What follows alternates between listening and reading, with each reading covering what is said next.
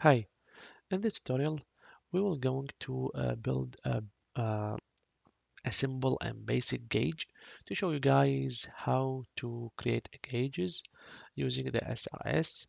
In my example here I have um, this data set which uh, called uh, food menu. Let me just name it here. It's food menu which I will going to show you using the gauge the total price of uh, those um, uh, menus. And there is a space here I believe. Yes press OK. Drag and drop the gauge.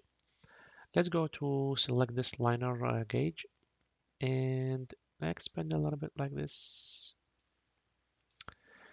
first of all what I'm going to do, to do is uh, let's check my scale uh, here liner and let's see my prices here uh, it's as a dollars um, sign and but the total will be almost like maybe 70 or 80 dollar. So I will going to change the percent into the dollar uh, just click on the scale right here and right click and go to the scale value. And let's go here where you can uh, increase your uh, pointer by it's 0 to 100 we are okay with that but I need to increase by 10 not 20 see how it will be changed here? Just click it like this it will be changed later like this yes. Now go to the number and go to the currency. And here when I need the currency like this if you want to add cents simply just increase the decimal places into one. Press OK. This is what I have currently for the the dollar. That's uh, I, how it will be uh, for my scale you know. Here where I would like to just let me review it here. It's not showing anything. By the way I need to point it my pointer one this one into uh, the total price. The same thing for the point pointer two into total price. If I only select one this one the only one that will be moved and the pointer will stay uh, right here if you didn't change them both. Go to the preview. The total I have here almost like 65 um, something else, I would I can add here change. If I want to change the color based on the price you can go right here to liner pointer properties and go to the pointer fill. And go to if you want to go to the solid. Here in expression I will going to say if sum because I'm using the sum oh let me go back again. If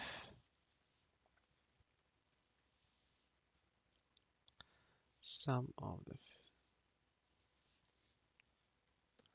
it's more than 50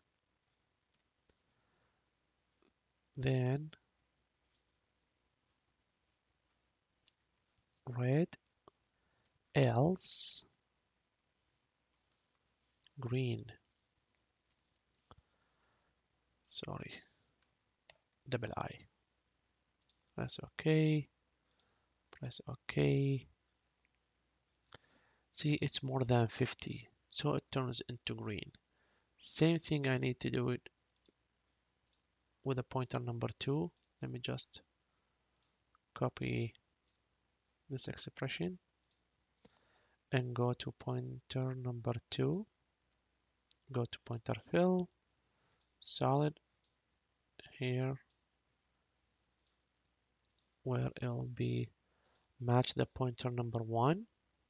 Okay. If you would like to add here like add if you want to add a range a range where you can uh, control it between uh, 0 and 10 so you go to the range go to range properties and here where is the start range 0 into 10 and the placement uh, uh, relative to scale go to cross. See where it's it's it's fit exactly right here press ok the same thing if you want to do with the rest. Add range. Go to properties of the range. Now I'll start from 10 10 to 20 and go to cross. Boop it's placed where uh, between the 10 and 20 uh, what else we can do we can here add a label go to properties of the label and here we say like you know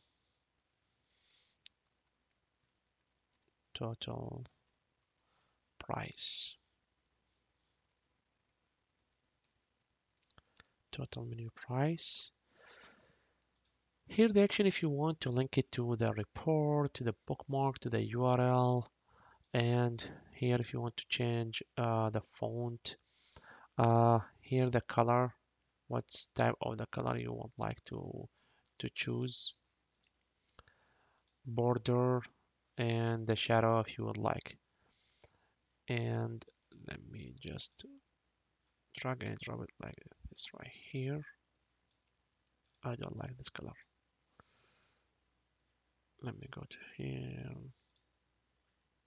give it as, as no color.